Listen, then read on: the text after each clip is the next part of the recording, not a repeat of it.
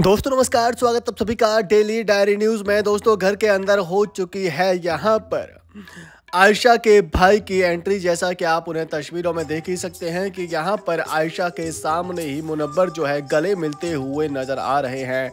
यहाँ पर आयशा के भाई के, आयशा का भाई जो है यहाँ पर आयशा के साथ में भी काफ़ी मस्ती करता हुआ नज़र आ रहा है। लेकिन ये फ़ोटो यहाँ पर वायरल हो रहा है और कहा जा रहा है कि आखिर मुनब्बर से मिलते ही क्यों रोने लगा आयशा का ये भाई? जी हाँ हम आपको बता दें कि आयशा के भाई के बारे में यहाँ ये बातें कही जा रही हैं, क्योंकि वो जो है काफ़ी ज़्यादा इमोशनल थे अपनी बहन से मिलने के बाद। अपनी बहन से मिलने के बाद यहाँ पर काफ़ी ज़्यादा इमोशनल जब नज़र आए यहाँ पर उनके भाई तो वो जो है यहाँ एकदम से देखते हैं मुनब्बर को और मुनब्बर के जाकर वो जो है गले मिलते हैं। तो यहाँ ऐसा लगता है कि मुनब्बर से मिलने के बाद वो जो है रोए हैं या फिर भावुक हुए हैं, लेकिन ऐसा है नहीं। अपनी बहन को देखकर वो जो है काफ़ी ज़्यादा भावुक हो गए थे।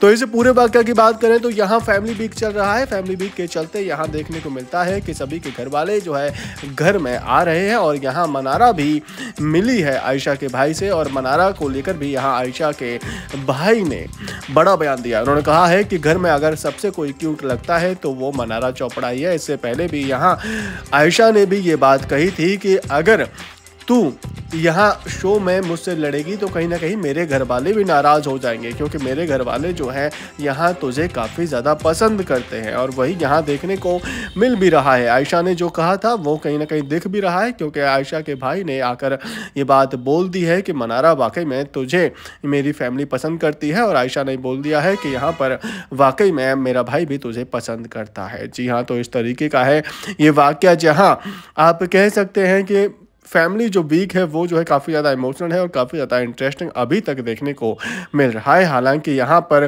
क्या डायनामिक्स चेंज होते हैं, वो जो है हमें बहुत जल्द पता चल ही जाएगा। दोस्तों, अगर आपको हमारे द्वारा दी गई जानकारी पसंद आई है तो वीडियो को लाइक और शेयर करना तो बिल्कुल भी ना भूलें।